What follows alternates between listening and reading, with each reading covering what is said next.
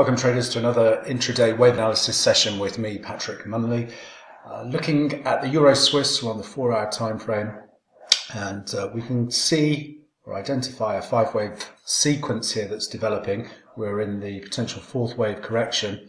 Uh, wave three subdivided nicely into five waves. Uh, we've now had a complex corrected pattern develop here, WXY pattern, which should complete at the equality objective versus the X swing high at 111.18. We should look for bullish reversal patterns at 109.66 to set long positions, targeting a move back through uh, the prior cycle highs at 111.50 en route to an ideal 112 fifth wave upside objective.